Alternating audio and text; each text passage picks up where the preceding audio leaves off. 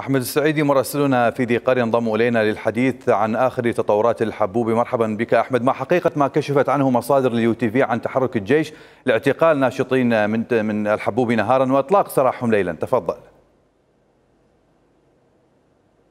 يعني حتى اللحظة لم يؤكد هذا من جهات رسمية لكن الحادثة الشهيرة حادثة الرمي التي حدثت عشية الاحتجاجات التي حدثت في ساحة الحبوبي ربما تؤكد هذه الرواية وما آه، آه، زال الجيش هو القريب جدا من ساحة الحبوبي بعد انسحاب قوات الشغب وبعد ما أصدر متظاهرو تشرين بيانا ليلة الأمس نعم. طلبوا فيه إلى التهدئة لكن التهدئة المشروطة وهي أن يكون الجيش وشرطة النجدة هي القوات المحيطة بساحة الحبوبي مع الاحتفاظ بحق المتظاهرين في التظاهر كل جمعة وبالتالي آه، آه، على القوات الأمنية القادمة لمسك الملف الأمني في مدينة الناصرية عليها المغادرة والعودة إلى أماكنها خارج نعم. بغداد وعدم دخول قوات الشغب إلى آه، محيط ساحة الحبوبي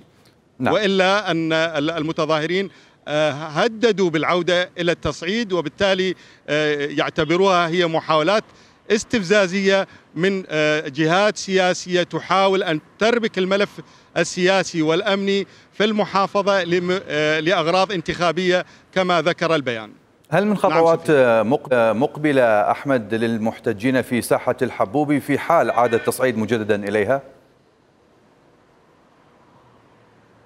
نعم هم هم أكدوا أنهم سيعودون إلى التصعيد والتصعيد المناطق السلمي وبالتالي على القوات آه، آه، الجهات الحكومية الحكومة الاتحادية والحكومة المحلية عليها أن تعي جيدا آه، خطورة هذا التحرك نعم. لكن هنا على الأرض هناك خطوات ربما تحسب للتهدئة اليوم قائد الشرطة الاتحادية زار ساحة الحبوبي وأيضا قيادة عمليات قائد عمليات سومر وقائد شرطة ذي قار زار المدرسة التي تم فيها التي لجأ لها المتظاهر كما أظهرت آه، يعني أظهر مقطع فيديوي على مواقع التواصل الاجتماعي وقدموا اعتذارا رسميا للمؤسسة التربوية بحضور مدير تربية محافظة نعم ونقيب المعلمين في المحافظة حيث أن نقابة المعلمين في المحافظة أصدرت بيانا استنكرت هذا الفعل.